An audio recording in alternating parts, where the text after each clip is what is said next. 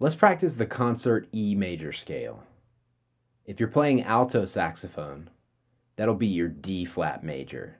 So you've got five flats B flat, E flat, A flat, D flat, and G flat.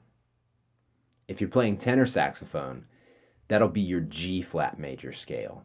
Six flats B flat, E flat, A flat, D flat, G flat, and C flat. We'll play in eighth notes at 60 beats per minute. That's two notes per beat. Here we go. One, two, three.